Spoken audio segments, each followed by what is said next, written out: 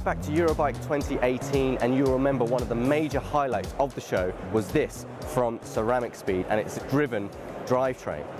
For 2019, Ceramic Speed actually have a working model, which we'll show you in a second, but they've also shown you how it should look housed on a bike using specialized S-Works Venge from the American brand, and it's been in their wind tunnel where they've tested the data and actually proven that this concept is aerodynamically more efficient than the chain set and chain driven cassette. And this system actually saves you eight seconds over a range of 40 kilometers. If you're not too familiar with the ceramic speed driven concept, it's this, a carbon fiber prop shaft replacing what we know as the cassette and chain set.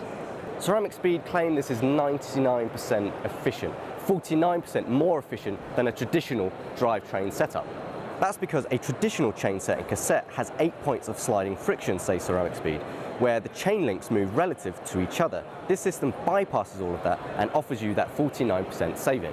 What Ceramic Speed has done is rethink the drivetrain and instead uses a carbon fiber drive shaft.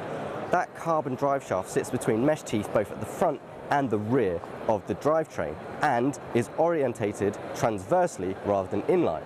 Top that off with very low rolling friction bearings that are durable and a 13-speed drivetrain offers a very fast ride prospect. We're going to find out what else Ceramic Speed have been up to, which is a working model that they have here at the Eurobike show. This year for Driven, we're now able to shift the drivetrain. The way it works is we use a split pinion design. The rear pinion will actually move axially with the split here. We have a master and a slave. To initiate a shift, the master on this side of the pinion will move over to the next shift channel.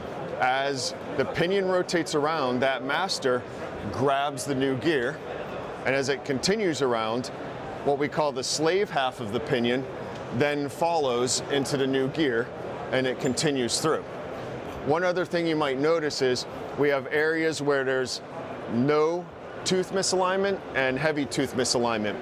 This shifting mechanism can shift anywhere on the rear cog. If it happens to pick a shifting area that's in the heavy misalignment area, we have what we call as a torque decoupler. It's essentially a synchronizer. When the pinion moves over, the synchronizer is released, and this will allow a perfect meshing of misaligned teeth. So the master bearing then essentially self-aligns in the misaligned new gear and it rolls through and the torque decoupler releases itself after the shift is complete and then it continues on, all the bearings in the same plane in a new gear.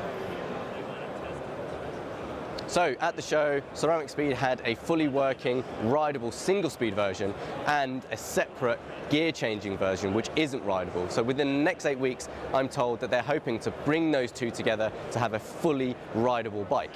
So what do you guys think of the updated version from Ceramic Speed? We are very excited at Cycling Weekly and cannot wait to get a rideable version in the office, probably or hopefully as soon as next year. Tell us what you think in the comments section below.